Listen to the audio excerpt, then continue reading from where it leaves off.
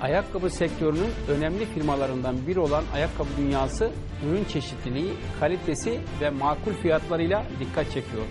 Ayakkabı Dünyası'nın tarihsel yolculuğunu firmanın yönetim kurulu başkanı Mehmet Akbacakoğlu anlatıyor.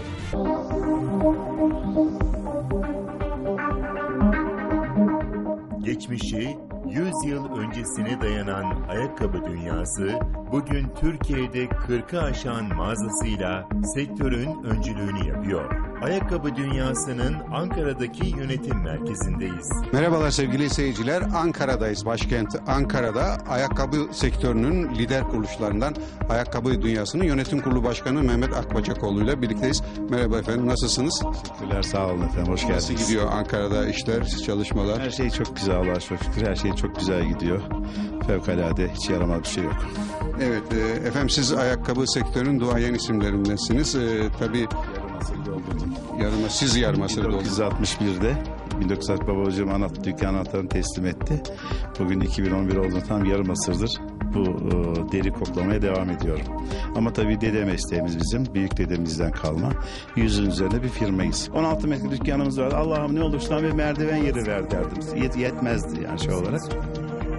Ama Allah bize arkamızda bir eski Ankara evi vardı. Kadıncağız yok çok yaşlı bir teyzemizdi. Orayı nasip etti. Dükkanımızı bir anda bir 75 metrekareye çıktı dükkanımız. Ama bu sefer de içinde dolduracak malımız yok. Boş kutuları koyduk üzerine şeyler taktık. Ama bugün 40 bin metrekarede çalışıyoruz Allah'a çok şükür. Bak 16 metrekareden başlıyorsun.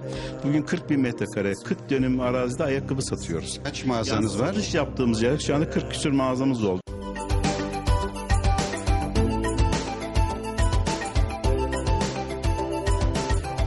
Bu sizin yönetim merkezinizde Ankara'da e, hem kendi çalışma ofisinizde hem de ofise girerken biz binlerce neredeyse ayakkabı gördük. E, bir ayakkabı müzesi adeta burada oluşturulmuş. Biraz e, bunlardan bahsedelim ve bize ilginç ayakkabılardan e, gösterir misiniz, tanıtır mısınız? Bilal Beyciğim tabii bu bir aşktır yani bir ayakkabı aşkıdır. Bende bu aşk var. Çünkü yıllardır artık bizim genlerimize oturmuş. Biz deri koklamadan duramıyoruz. Bugün bir mağazalar zinciri kurduk. Yani sektörün en iyilerinden bir en iyilerindeniz Allah'a çok şükür. Yani güzel şeyler yaptık. Bugün çok modern ticaret yapıyoruz. Çarığı unutmadık yani. Malum bu koleksiyonun temeli de çarıktan başlıyor.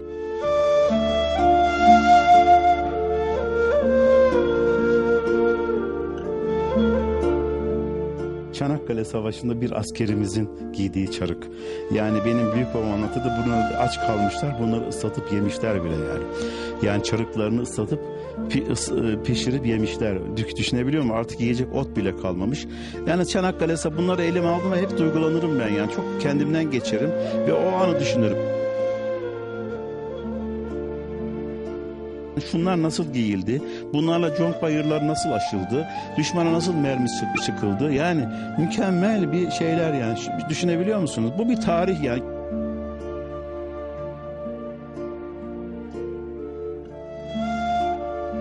Çanakkale Savaşı'nda bir askerimizin Kur'an-ı Kerim'i. Bu bir subay çizmesi. Yani bu da Çanakkale Savaşı'nda bir subayın giydiği bir çizme şey olarak. Bu da görüyorsunuz yani tamamıyla elde yamalar görmüş artık. Neler görmüş, neler gör, neler görmüş. Tabii efendim bakın al, altı da yamalı efendim bakın her yeri yamalı. Yani karşısındaki İngiliz'in efendim Fransız'ın ayağında rozvet botlar varken bizim subayımız, bizim askerimizin nelerle savaştığı, nelerle mücadele ettiğinin bir eseri bunlar işte. İşte o yıllarda bunlar da bakın bir İngiltere'nin de İngiltere'deki şeylerin giydiği ayakkabılar. Lady'ler. Yani lady'lerin giydiği ayakkabılar. Bunlar da o yılların yani savaş yılların ayakkabıları.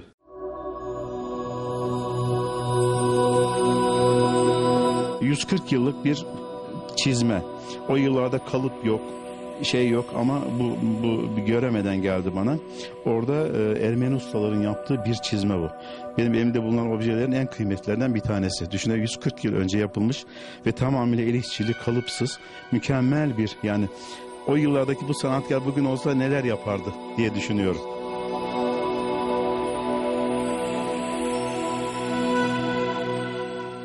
Çok da kı- kıymetli bir obje. Bu da e, bir Ermeni papazın giydiği, ayinlerde giydiği bir terlik. Bu da 100 yılın üzerinde bir obje.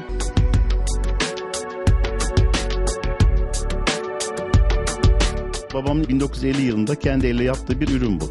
Şey olarak Düşün o günler, o gün şartlarda görüyorsun inci gibi makine dikişler ve bunlar dikip çevirmedir. Yani içi dışına çevirmedir. Böyle bir sanat. Bugün bunu yapacak ne sanatkar var ne bu dik makine dikişi gibi görüyorsunuz. Ne kadar mükemmel bir el işçiliği var bunda. Bunu bir arkadaşım getirdi. Bu, e, Kars'tan geldi. Herhalde Rus yapımı olsa gerek. Mükemmel bir sanat eseri. El deri deri şey verilmiş ve ve otomobil lastiği. Evet otomobil lastiği efendim yani şey olarak. Yani ne kadar ki bakın şu mesela bizim Kahramanmaraş e, da yapılıyor. Bu da bir çocukların giydiği o şeylerde otomobil lastiği ve yemenelerimiz. Bu kırmızı yemeni sadece aşıklar ve evli hanımlar giyebiliyor. Kural var. Yeşili dul hanımlar giyebiliyor. Giyiyor. Sarıyı bekar kızlarımız giyebiliyor.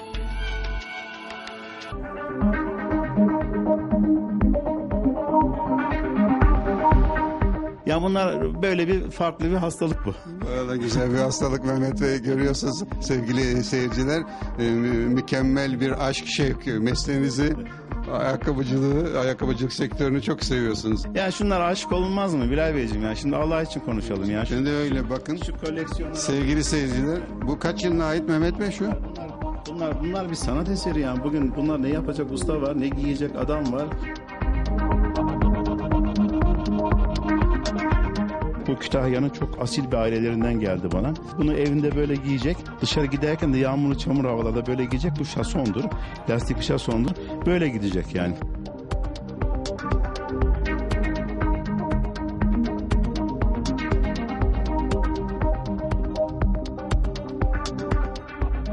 Bu biliyorsun dünyanın en uzun adamı Sultan Bey var. Türk Ma- Mardinli kendisi.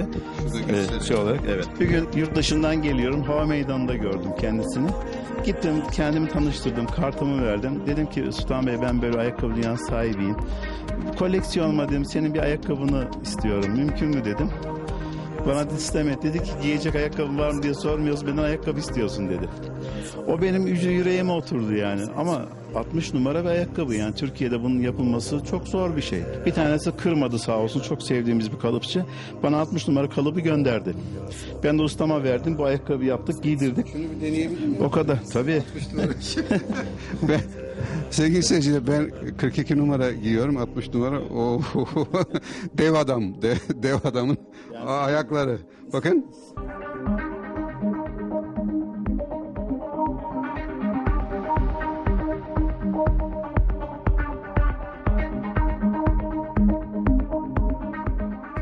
Sayın Cumhurbaşkanımız e, Abdullah Gül'ün eşinin Hayrunisa Hanım'ın ayakkabıları bizim müzemizde çok değerli bir e, katkısı var.